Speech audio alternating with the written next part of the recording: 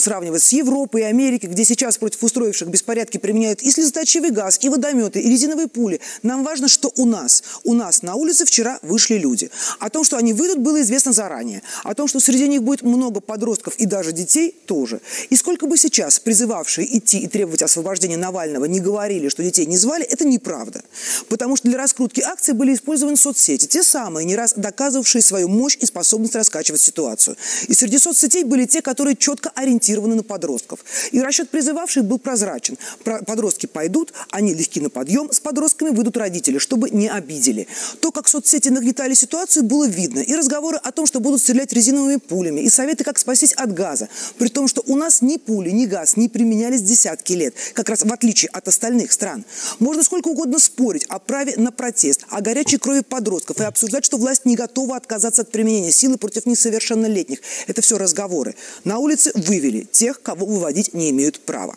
Да, гражданский протест – это нормально. Демонстрация – часть политической жизни и инструмент диалога с государством. Но в нашей стране, как и в любой другой, есть понятие несанкционированный митинг.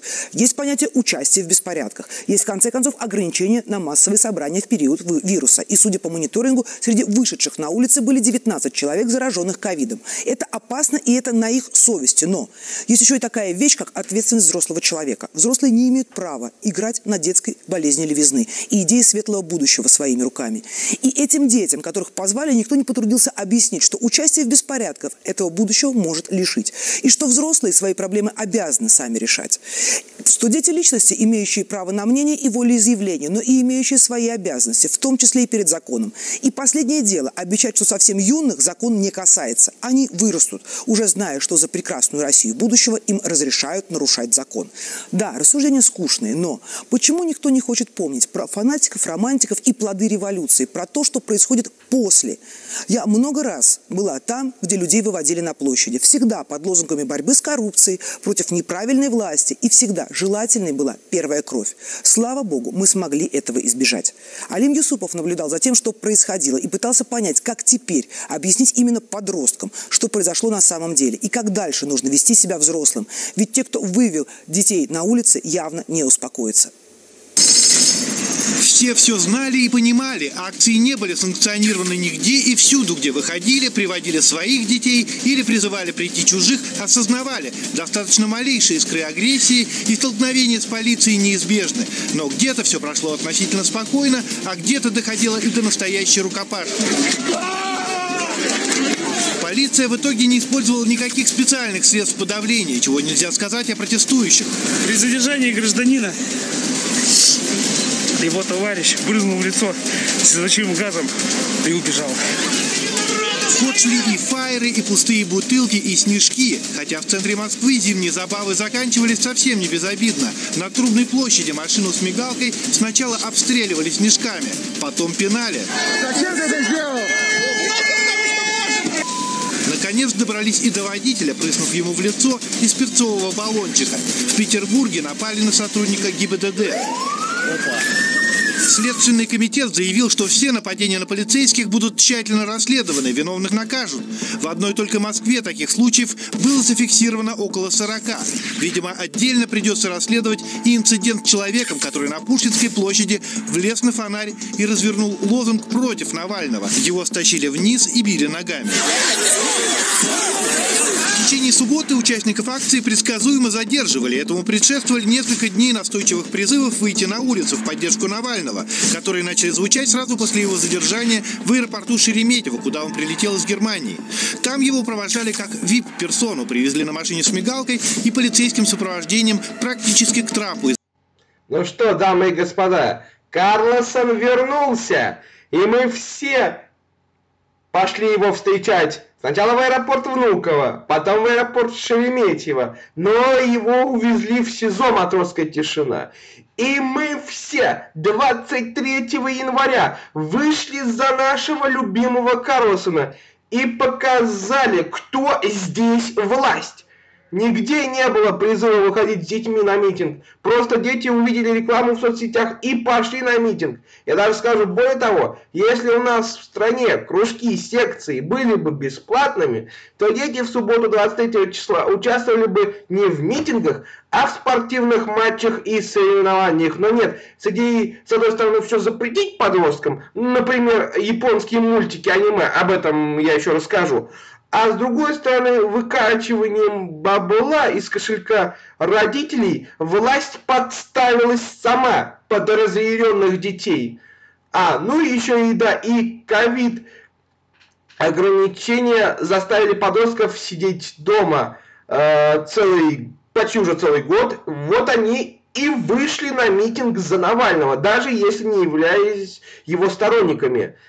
И мы поэтому начинаем итоги недели с Колпинского районного суда Санкт-Петербурга, где детям на этой неделе запретили смотреть японские мультики. Ну а сначала про э, э, другую э, новость. У нас первый эфир при новом президенте США, при Джозефе Байдене.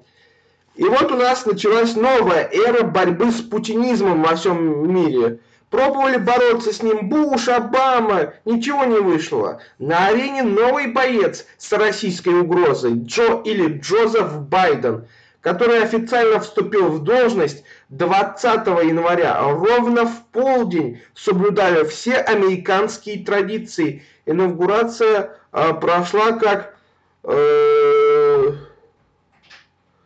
перед Капитолием на балкончике перед Капитолием, символизируя единство законодательной и исполнительной ветви власти в США. Но, к сожалению, из-за коронавируса не было зрителей, зато э, присутствовали много VIP-гостей. Это бывшие президенты Буш, Чита Клинтонов, певица Леди Гага и Дженнифер Лопес, которые исполнили гимн США, а также другие американские народные песни. Все, конечно, бро... все, конечно, бросились обсуждать наряд Леди Гаи. Где этот наряд? В комсомолке он должен быть. Вот он, вот этот наряд э, Леди Гаги. И то, что при, под э, порывами ветра американские флаги на платье певицы складывались в российский триколор. Также отметили и то, что Гага была похожа на э, атрибут русской кухни, э, бабу с чайником. Ну, не знаю. Мне кажется, она, ее наряд был похож, скорее всего, на героиню э, сериала «Игры престолов» Дайнерис. И Гага подчеркивала этом как бы смену правителя. Байден начал произносить свою речь за 18 минут за 18 минут до полудня. Обычно бывшего э, ой, бывшего, нет, действующего так. Обычно бывает все наоборот. Сначала президент э, приводится к присяге ровно в полдень, а уже потом толкает свою речь. Первую речь уже в статусе полноправного президента США. Но Байден решил поступить наоборот. Однако, когда он закончил свою речь, то на часах проббыло уже полдень. Это тонкости американской демократии.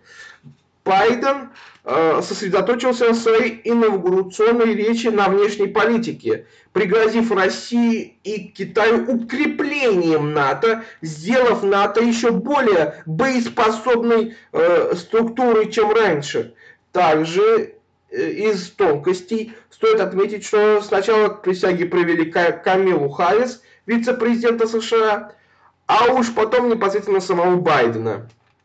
Да, представляете, чтобы у нас, например, сначала Мишустин бы вступил в должность, а уж потом бы Путин. Ну, если речь про Камилу Харрис, тогда уж Матвиенко.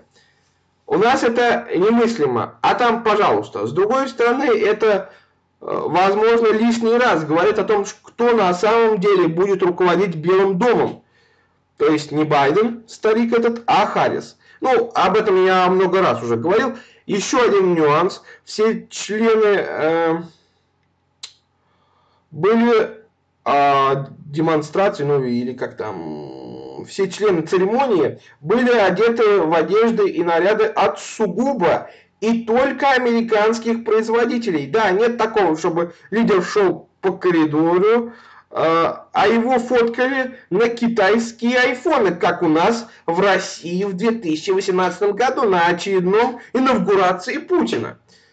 Так сказать, демонстрируя мощь в камышках, в кавычках промышленности, Байден клялся на своей, да, вот еще, Байден клялся на своей личной конституции, которая у него в семье хранилась с 1800, с 1893 года. Вот вам история, э, которая ожила таким образом. И Байден таким образом отдал дань уважения своим предкам, естественно, конечно. После инаугурации Байден сразу отправился в Белый дом, чтобы приступить к работе. А помните крылатое из фильма «17 мгновений весны»? Максим в конце э, сериала Максим Максимович едет в Берлин. Он едет работать. Также решил поступить и Байден, оправдывая украинскую ново, новую поговорку «Байден придет, порядок э, наведет». Э, проработав в Белом доме несколько часов, Байден решил посетить Арлингтонское кладбище и почтить память тех, кто не, до... кто не дожил до его инаугурации, но кто помогал Байдену избраться и стать президентом. Из-за того, что Трамп отказался принимать участие в инаугурации Байдена и де-факто спер ядерный чемоданчик, это система связи с активацией ядерных ракет – Пентагону пришлось изготовить новый ядерный чемоданчик уже непосредственно для президента Байдена. А Траповский они деактивировали ровно в полдень, когда Трамп перестал быть президентом США. А теперь зачем я вам вообще про это все говорю? А чтобы вы прочувствовали, находясь у себя в России, настоящую демократию. Пусть даже и без зрителей.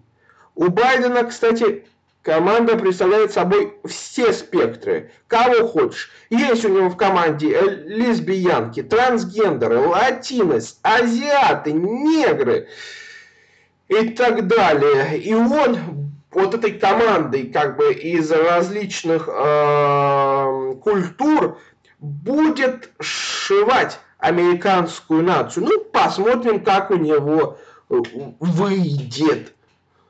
А тем временем в России, к сожалению, продолжается власть гэбистов. Идем к следующей новости. Э, такая самая... Я люблю такие новости, когда действительно что-то необычное происходит.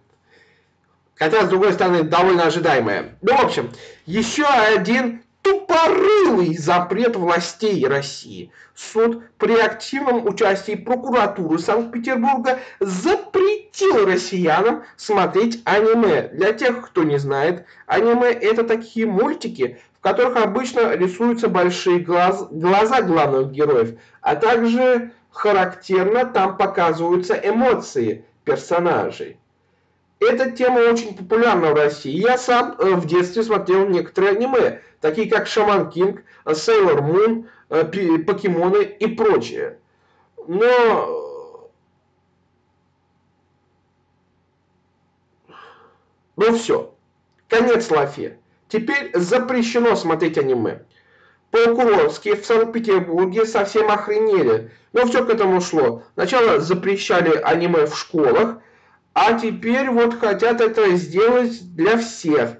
Дабы наши школьники и мы с вами смотрели только отечественные мультики про богатырей, а больше никакие.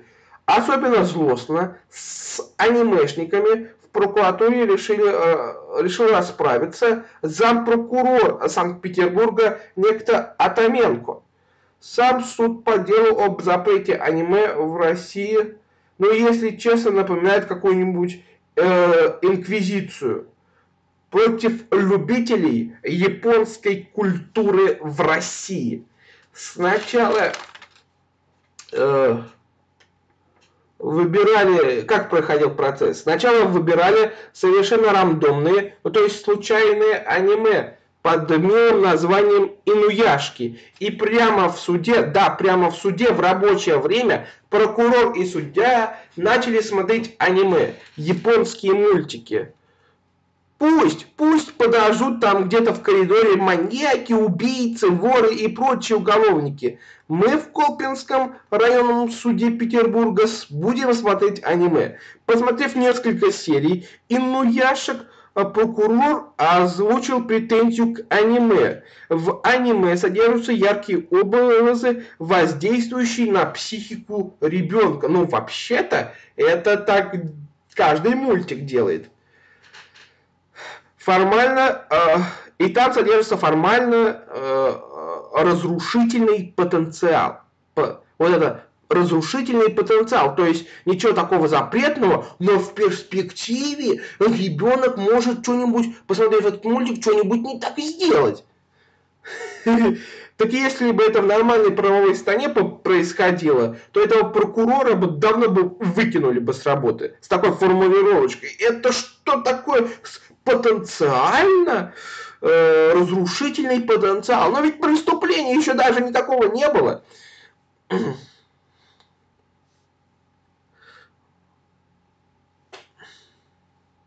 Вот даже не то, что там показано, то есть нельзя показывать, а в перспективе Сейчас я посмотрю в своей перспективе, идет ли запись. Ага, идет. В перспективе э, разрушительный потенциал. Ну, когда ребенок, э, посмотрев аниме, а, а в перспективе, ну, когда ребенок, э, посмотрев Э, криминальные разборки на НТВ, у него нет никакого разрушительного потенциала. А у, а у немощников, да. Не Малахова, как там детей насиловали, а посмотрев аниме, возможно, в будущем ребенок нет-нет, да и совершит что-нибудь ужасное. Да это не прокурор, а какой-то сотрудник Министерства правды из романа Джорджа Орвелла. Потом прокурор огорошил фразой, что, посмотрев аниме, подросток пойдет и грохнет себя. Ау, ау, Атыменко, это так не работает. Если подросток задумал совершить самоубийство, то это не вовсе не из аниме. Значит, его довели до этого. В школе, э, в семье, но точно не из аниме. Аниме здесь ни при чем. Посмотрев Инуяшек, суд переходит к следующему аниме, которое тоже теперь смотреть запрещено в России. Токийский гуль. Здесь, по мнению прокурорских, много расчлененки. Ну, не знаю, не смотрел токийского гуля, э, уж тем более в здании суда. Но какой-то смысл запрещать гуля, если подросток без всякого аниме могут сейчас посмотреть непосредственно саму расчлененку в интернете. Самое забавное было с тетрадями смерти. Тоже аниме, так называется, тетради смерти. О, кричит прокурор, аниме явно возводит культ личности, ой, то есть культ смерти среди подростков. А подростки, заявил прокурор, это ценная популяция. То есть подростков теперь в прокуратуре, в прокуратуре Санкт-Петербурга даже за людей не считают. Это звери, молодняк, э, популяция. Потом судья э, Колпинского районного суда озвучивает решение. Это решение тоже войдет в историю судопроизводства, как в России, так и в мире. И так, такой сердитым голосом. Именем Российской Федерации тетради смерти запрещены. Ну, с таким же успехом судья мог еще и шаманство в России тоже запретить. Только вот... Э, по всяким э, VPN, прокси э, через браузер Tor, если подросток захочет, все равно посмотрит это аниме. Э,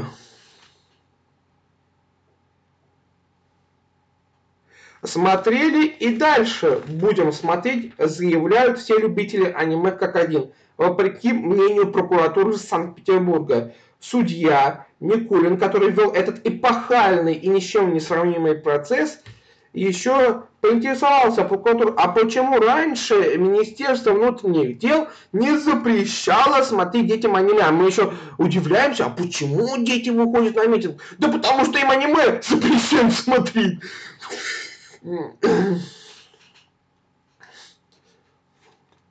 Так вот, э, Никулин, судья, попросил прокурора строго наказывать тех, кто делает и распространяет аниме внутри России во имя э, э, здоровья детей. Ну, то же самое, блин. Преступники века, блин. Самые э, суровые садисты, по мнению суда, это, конечно, распространители аниме. Э, все. Э,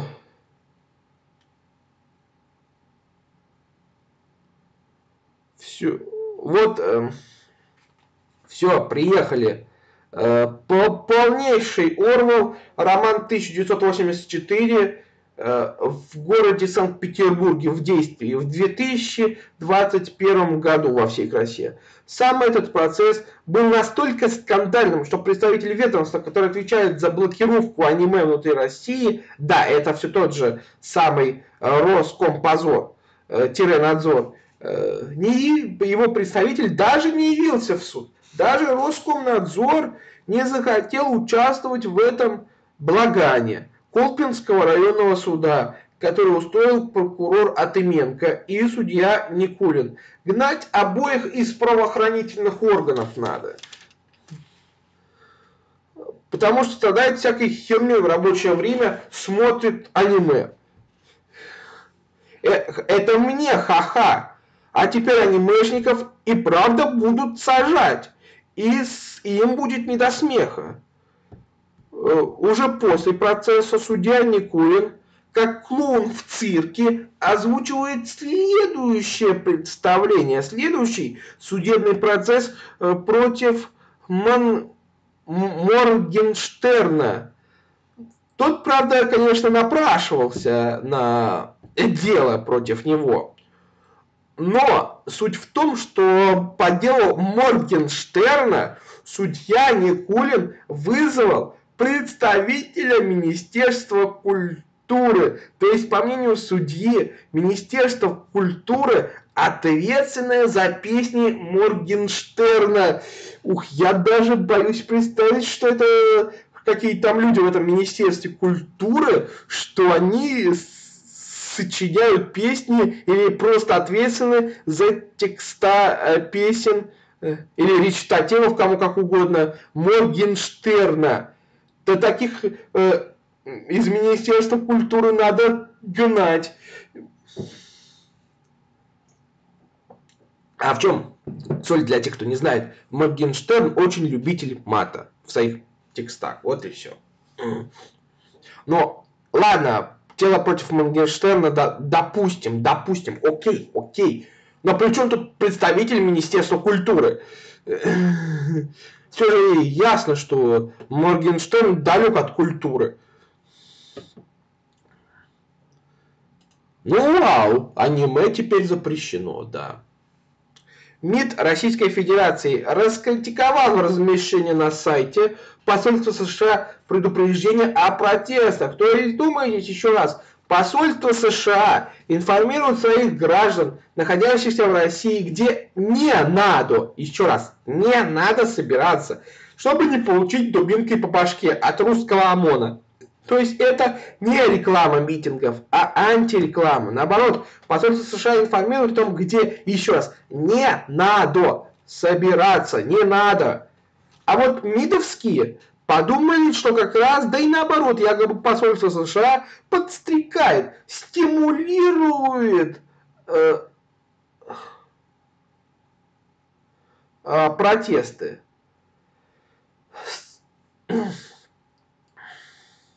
Вот так, вот так вот подумали о соратнике Захаровско-Лавровской героиновской дипломатии из Аргентины. Вот так они выразились. Претензию нашего МИДа э, вызвали англоязычные версии сайта посольства США.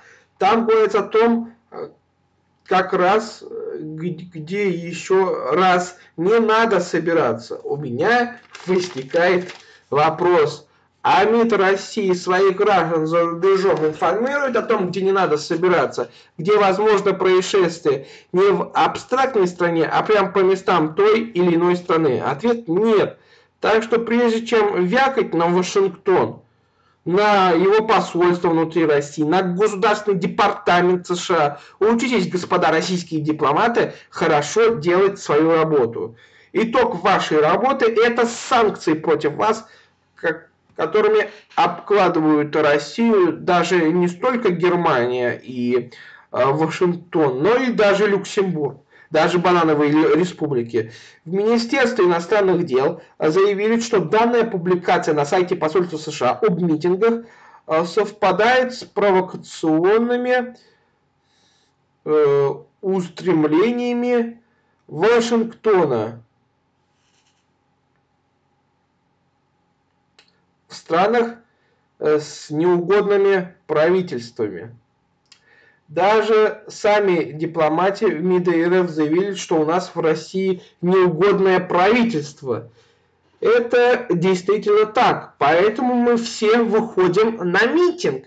А дальше МИД России заявил об одобрении э, жесточайшей цензуры, э, МИД России, конечно, жесточайшей цензуры внутри России, заявляя, что не надо освещать американцам ситуацию в нашей стране. О как!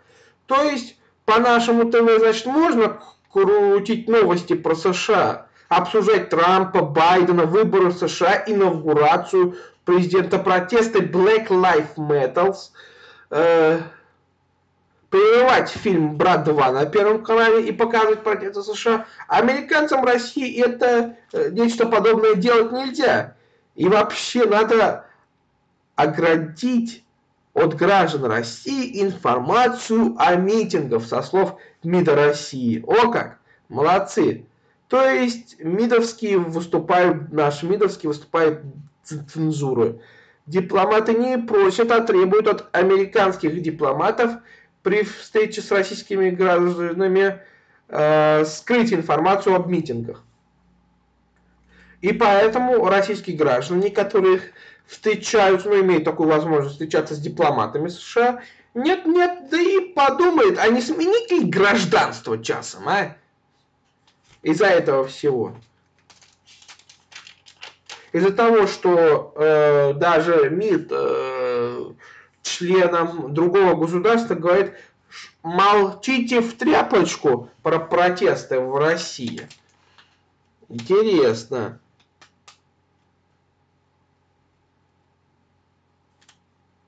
И главное, наши МИДовские хотят от э, членов э, страны, которая образовалась как раз таки во имя свободы и демократии от США, чтобы те молчали в тряпочку. Я ведь напомню историю, что это самое США организовалось в ходе революции против Канады. Именно поэтому там свобода и демократия значит намного больше, чем у нас, к сожалению.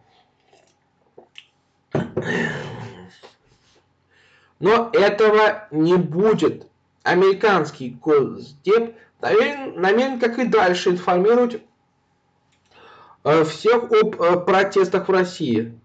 Новость откровенно, вот эта новость откровенно характеризует российских э, дипломатов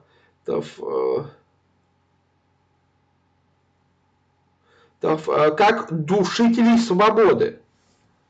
Они хотят от свободной страны и от ее представителей, чтобы те, как МИД РФ, скрывали информацию. Нет, как я уже говорил, этого не будет. Американские дипломаты, в отличие от российских, не будут молчать. Еще раз, чтобы ни у кого не возникло и тени сомнений в том, что американцы э, не лезут в нашу страну. Они опубликовали на своем сайте на сайте карту, куда ходить не надо. Не надо. No по-английски. А в медиа подумали и yes.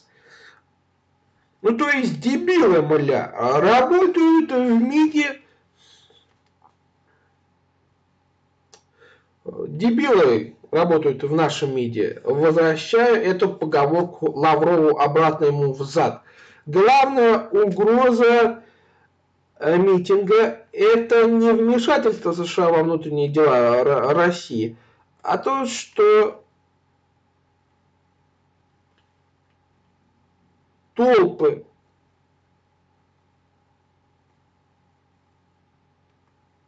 а то, что Навальнята будут выкидывать вот таких вот работников дипломатии из своих кабинетов рано или поздно. До того э, российские дипломаты в американской фобии докатились, э, что всерьез обвиняют американцев в пандемии и в снижении курса рубля. На эхо Москвы э, всерьез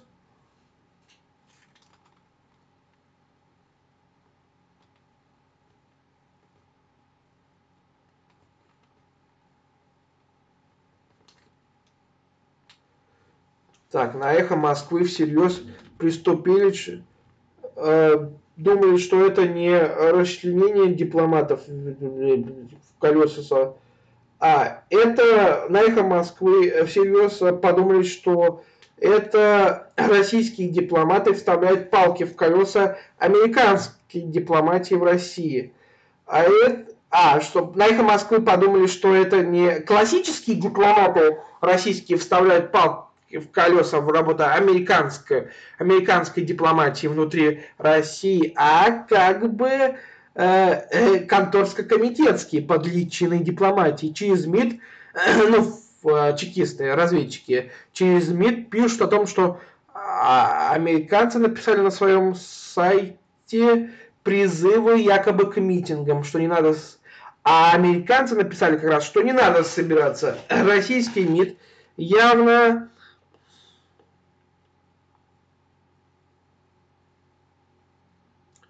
захотел показать американцам, где раки зимуют, но не выходят. У все на митинг, у все на протест. Ну и, собственно говоря, непосредственно сам протест 23 числа. Куда вы идете? Чего вы хотите? Я есть ваша экономика, э, заявляет протесты, э, заявляет протесты, заявляет э, ОМОН протестующим, а? Так, корреспонденты коммерсанта с акцией протеста в Москве. Как мне показалось, очень хорошая статья корреспондентов коммерсанта о митингах в поддержку Навального в Москве. Я и сам участвовал в митинге, но только не в Москве, а в Самаре.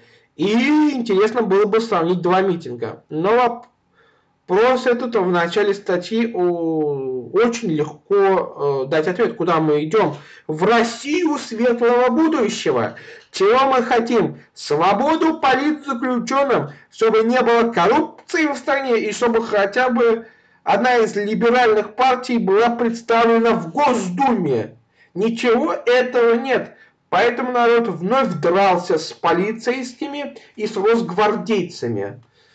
Ну и стоит отметить, что это первая э, акция, ну первый митинг вообще после коронавируса. Люди действительно э, захотели освободить Алексея Навального из тюрьмы.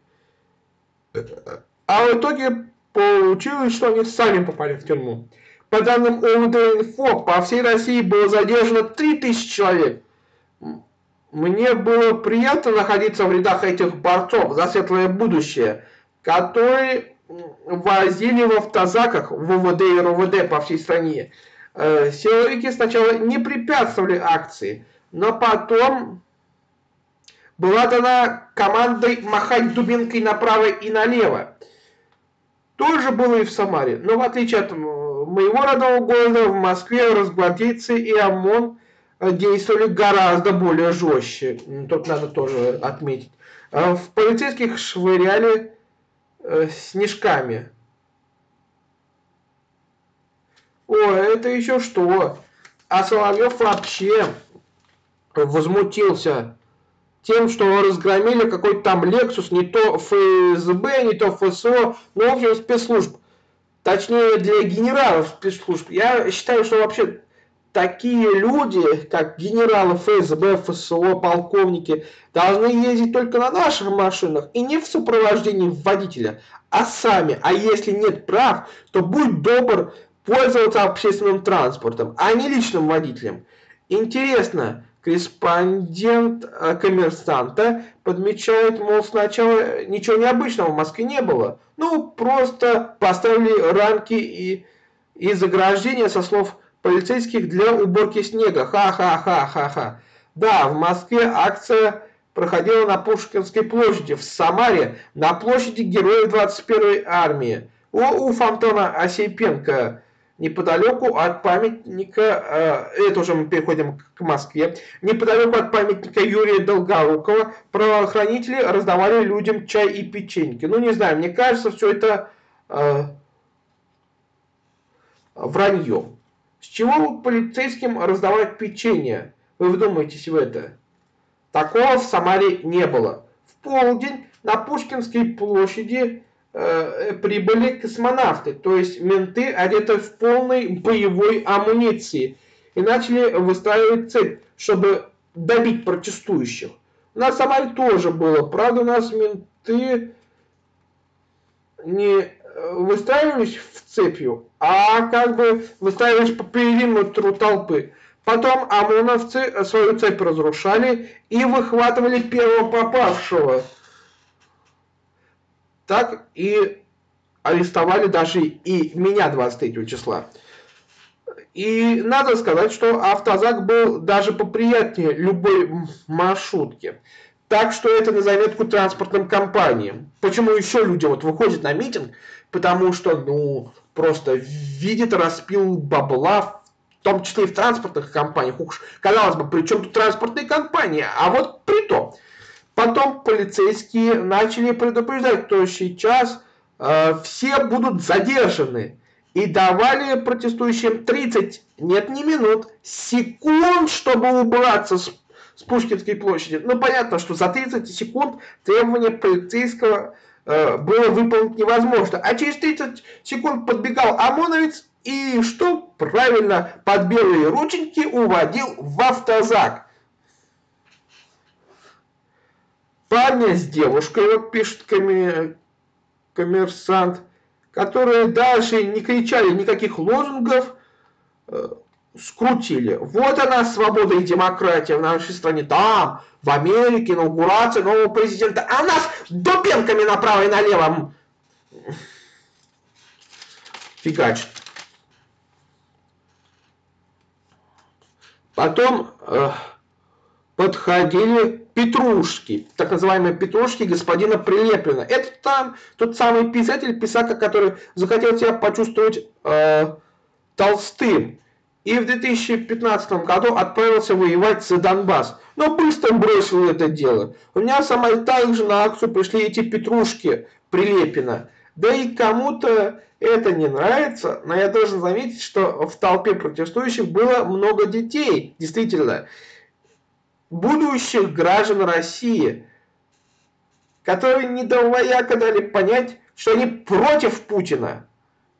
Представляете, что будет, если они вырастут? И они станут полноценными гражданами, которые готовы с младенчества отстаивать не только свои права, но и права тех, кто сейчас находится за решеткой. Несмотря на дубинки космонавтов, а, протестующие сумели занять не только Пушкинскую площадь, но и пространство вокруг а, площади или что там, а, станции, станции метро Маяковского, да. Там собралась тысяча людей. Люди махали флажками машинам, а те бибикали в ответ. То, что автолюбители тоже... Так что автолюбители тоже за Навального, а не за Путина. В отличие от митингов в регионах в Москве, э, в отличие от э, митингов в регионах, в Москве были протестующие с бело-красно-белыми флага, флагами цветов свободной Белоруссии. Их э, более жестоко э, дубасили дубинками, чем других, понятно. Не могу также не сказать про Якутск, где люди в поддержку Навального вышли в минус 50, а их лицом в, в вечную мерзлоту ОМОНовцы. Но вернемся к событиям в столице. На Страстном бульваре на Вольнятом был организован лазарет. Людей, получивших травмы от дубинок Росгвардии, э, э, перебинтовывались. К 16.00 ОМОНу удалось выбить людей из Пушкинской площади. Навальнята в ответ заняли Тверскую и Манежную площадь.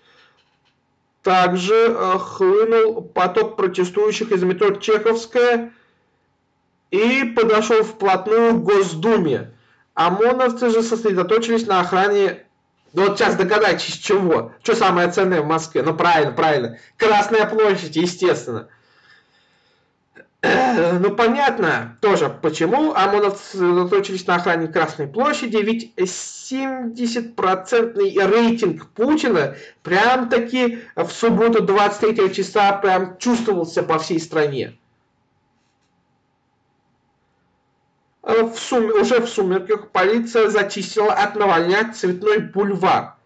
Протестующие к этому времени поняли, что революцию пока не удастся совершить, и двинулись к СИЗО «Матросская тишина» с тем, чтобы освободить своего лидера, своего гуру, так сказать, Алексея Навального, которых корежат на настоящих патриотов.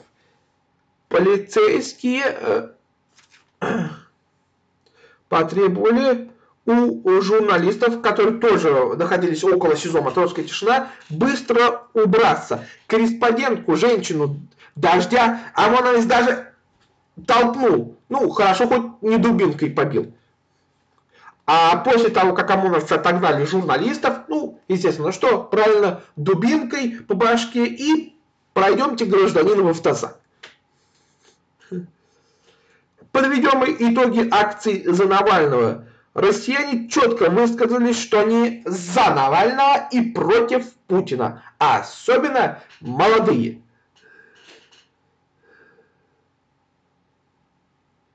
У меня в Самаре люди с балконов кричали, что они за Навального. Да, вот так вот.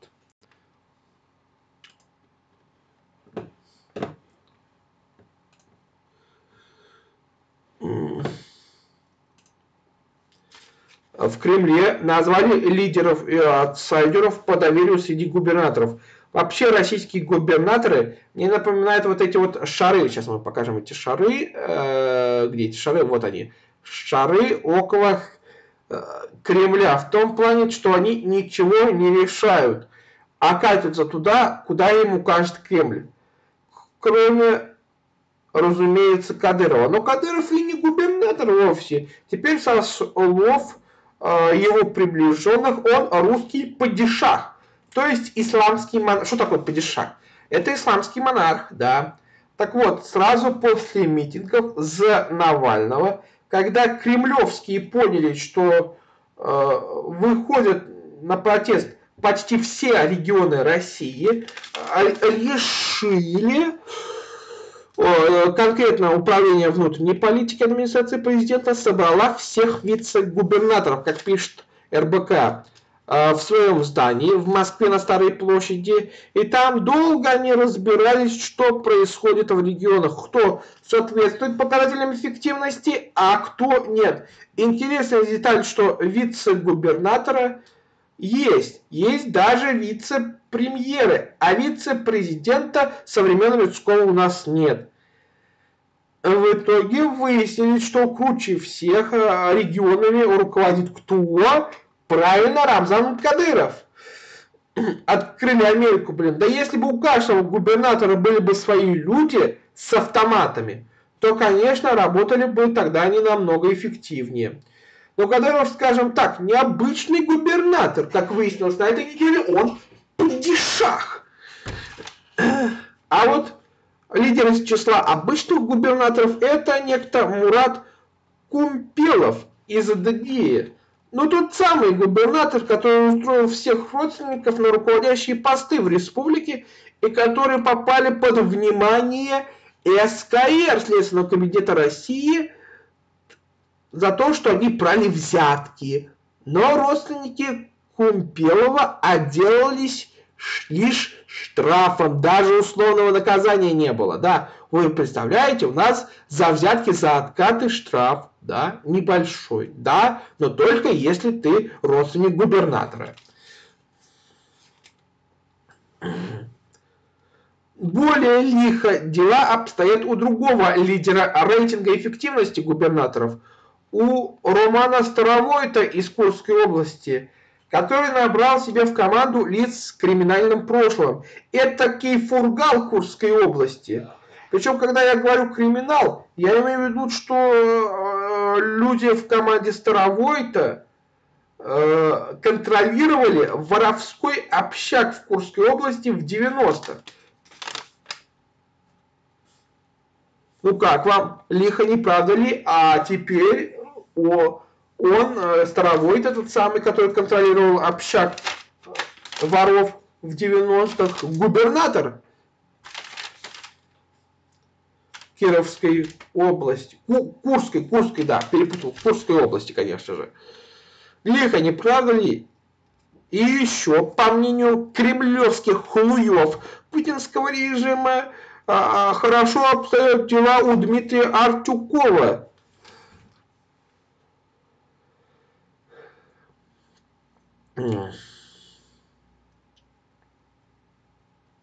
бронзового призера рейтинга эффективности губернаторов. То взял и, естественно,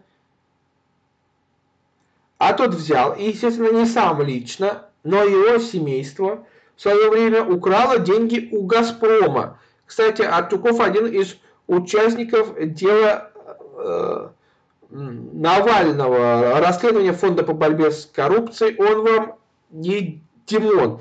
И, клю, и клиентура коррупционной схемы Дмитрия Анатольевича Медведева. Вот такие вот лидеры среди губернаторов, на котором клейма негде ставить. Но гораздо более драматичным и интересным история с теми, кто, по мнению управленцев из Кремля, плохо справился со своей работой. Худшим губернатором признан Валентин Коновалов. Почему? Да потому что он не единорос, а коммунист из КПРФ. Да-да, из-за партийного фактора и больше не из-за чего. Чтобы э, э, вы понимали, э, другие аутсайдеры рейтинга тоже губернаторы сплошь не из Единой России – а худшим, одним из самых худших губернаторов признан губернатор Владимирской области. И даже язык не поворачивается словом назвать губернатор, ну и, скажем так, исполняющий обязанности губернатора из Хабаровского края, они все из ЛДПР, да, тот самый Дегтярев. В их стройные ряды э, неэффективных управленцев зачесался Александр Ус, губернатор Красноярского края. Александр Ус э, постоянно фигурант э, новостей из-за всяческих скандалов. Но, конечно, одним из самых худших губернаторов э, Кремлем, то есть не мной, не либералами, а Кремлем, призван Сергей Цивилев, губер... так называемый губернатор на костях. Он стал губернатором после трагедии в торговом центре «Зимняя вишня». Ему до сих пор не могут простить смерть детей, запертых э, в кинотеатре в Кемерово. а вы еще говорите, почему, значит, дети выходят. Да вот потому, что выходят. Потому что вот в Кемерово, например, в 2000, я не помню, год 2017, 18, 17, 17, да, был, 18, э, не, 18, да, когда детей заперли в кинотеатре и не оказали им помощь при пожаре. Они и умерли. Но еще одна деталь совещания вице-губернаторов на Старой площади стало то, что э, Кириенко, руководитель администрации президента, объявил о том, что теперь никакой пощады от э, Единой России даже э, системной оппозиции. Похоже, в сентябре 2024 года нас ждет однопартийный парламент. Ну, посмотрим, как оно дело выйдет. Ну, вот такая вот интересное совещание в управлении внутренними делами президента. Да, посмотрим, что из этого выйдет, конечно же.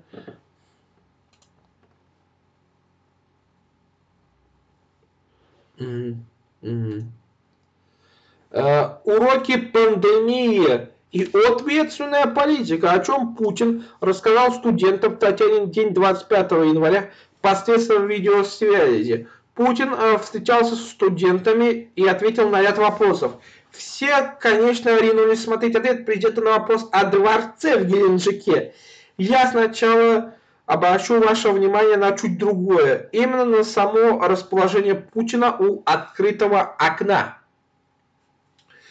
Это интересная деталь, потому что у людей сложилось э, впечатление, что Путин где-то в секретном бункере из-за пандемии, когда выступает президент, окно в его рабочем э, кабинете всегда занавешены. Э, некоторые даже полагали, что это фальш-окна по аналогии с фальш-дверями в бункере и в рабочем кабинете Сталина.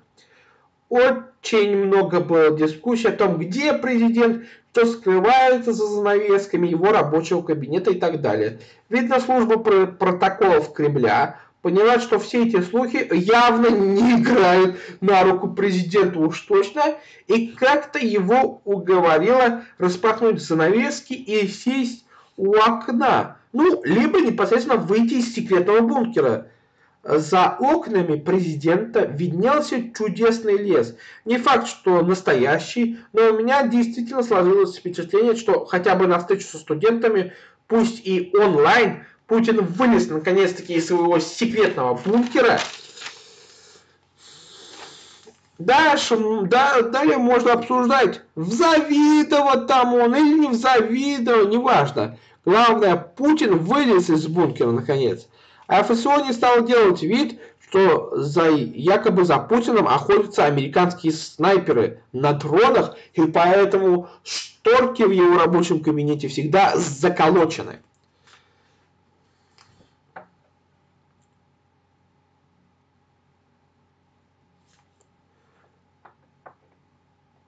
Но в, в этот раз э, видно уже самого Путина достало все эти слухи про его сидение в бункере, ну или непосредственно само сидение в бункере достало Путина. Еще, может быть, он вещал как раз таки из того самого дворца в Геленджике. А почему бы и нет? Все внимание было приковано к этому самому дворцу Путина в Геленджике.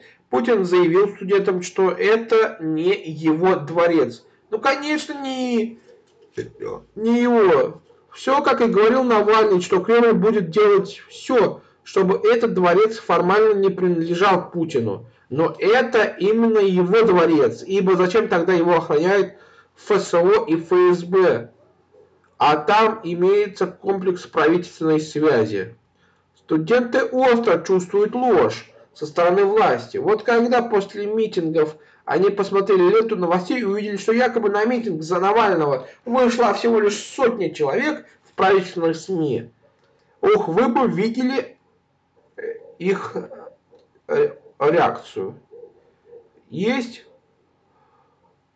хохма, продавец Путина, мол, Песков заявил, что в Нарнии, в Гриффиндоре, в Слизерине, в Шире, в тридевятом царстве, в тридесятом государстве дворцов у Путина точно нет.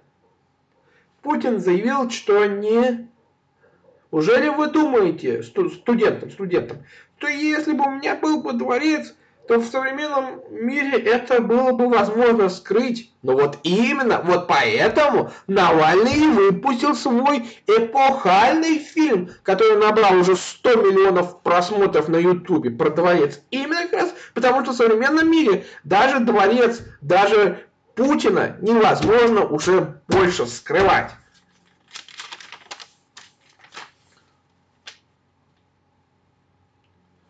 Путин заявил, что после завершения карьеры фюрера в, России хотел бы работать в сфере виноделия. Ну, как раз там у него во дворце эти все виноградники для этого дела предусмотрены. Но при этом бизнес его никогда не интересовал. Вот это самое забавное. Да ладно, да ладно, Владимир Владимирович, а кто уволился из КГБ ради как раз бизнеса? Не вы ли? Кто пошел работать на Собчака ради бабок? Кто организовал фирму, более известной как Кооператив? Озеро ради денег. Не вы часом, а? а? Про митинги Путин заявил, ну вот смотрите, в США протестующие захватили Капитолий и с ними не церемонились, в них стреляли, а мы что? Не должны так действовать, что ли? Ну, во-первых, Навальнята пока еще Госдуму и Совет Федерации не захватили. Но все к этому идет. Протестующие... Э, я бы посмотрел на то, как Навальнята захватывали э, Совет Федерации Госдуму. Ну и вообще, а, сама формулировочка, что все, что не за рамками закона, должно быть строго запрещено, это дорогого стоит и даже опасно. Короче, Путин вновь втирал, втирал пыль в глаза студентам, которые давно избрали себе нового лидера. Имя ему Алексей Навальный. И только лишь время покажет, станет ли он новым Лениным для молодежи или же нет. А Путин это и Николай II. Ну, его больше с Александром Третьим сравнивают. Ну, короче, российский монарх. Он, со слов Навального, даже любит переодеваться в костюмы. Трансвестить, мля. Ну, и я использую мат из сталкера, да. Так, переходим к последней новости на сегодня. Разработчик новичка планирует выпускать лекарства от COVID-19. Мало нам эпивак короны и спутника. Теперь вот бедным россиянам будут вкалывать аналог новичка. От того самого э, новичка, которым э, все травили и травили Навального и Скрипаля, да не отравились. Новичок плох со всех сторон. И как следствие от врагов режима и как непосредственно само боевое отравляющее вещество, раз уж люди э, выживают при нем. Создатель э, новичка в секретной лаборатории, уже никакой на самом деле, не секретной лаборатории Шиханы, э, почесали репу и подумали, раз уж у нас яд не получается сделать, то может быть получится лекарство от ковида дайте угадаю, который будет не лечить до конца, а вылечивать на тот свет. Да, лекарственное средство от ковида на основе новичка получило название имофон. Оно, со слов создателя новичка Леонида Ринка, восстанавливает клетки и устраняет цитогеновый шторм. Имофон сделан на основе другого лекарственного препарата децуфона – в отличие от децуфона, в имофоне э, устраняют главный недостаток – плохое растворение в воде и в крови. Но прям как с новичком, в имофоне внутри препарата будет стоять импортное средство Дапсон. Все как в нашем КАМАЗе, вроде бы наш, а начинка от BMW и некоторые детали от турецких поставщиков. Так вот, имофон предназначен не только для а, ковидников, но и для лечения других болезней. Э, уже, со слов Ринка, препарат протестирован на 700 добровольцев. И у них не было тяжелых последствий. Но мы сами знаем этих добровольцев. Скрипали да Навальные. Казалось бы, ура! Прогресс в области фармацологии, фармацевтики.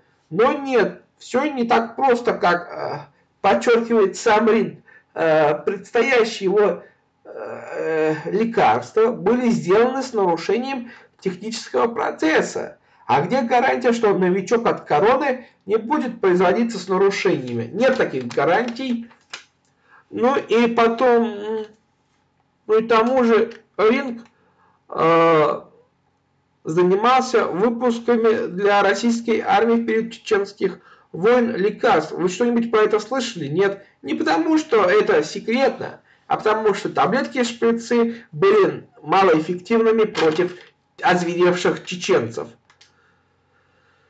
Какая-то действительно спорная реклама получилась. Разработчик новичка планирует выпустить лекарство от COVID-19. Не, ну а что, выпустит новичок с короной и на тот свет к праотцам. Лекарство еще в стадии э, разработки, а моего батю уже крутит от него на унитазе. И вот он сейчас сидит на горшке и ругает нас с матерью. Поэтому я сейчас пойду и присоединюсь к нему. Вот такое вот лекарство от коронавируса. Видите ли, на этом наши итоги недели завершены. Все на митинг, все на протест.